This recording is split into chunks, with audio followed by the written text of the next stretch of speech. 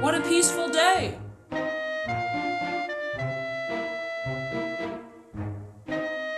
Luna! Luna, come here. Luna?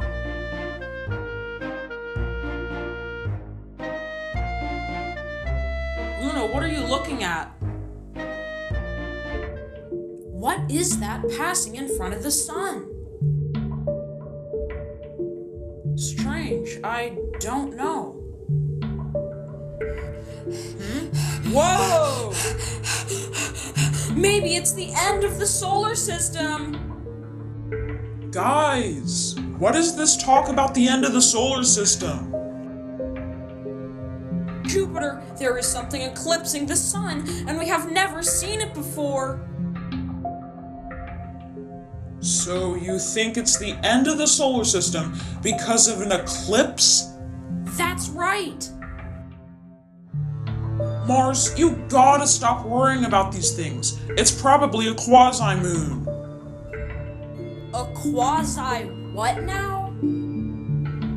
Now, I don't know much about quasi moons, but here is what they are. This is the Sun. This is Earth. And this is the asteroid belt. Occasionally, an asteroid from the belt gets out of the orbit and enters the inner solar system and orbits around the Sun. But it kind of gets caught by a planet's gravity and appears to orbit that planet.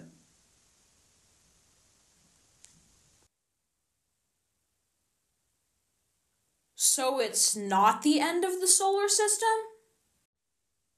And I have a second moon?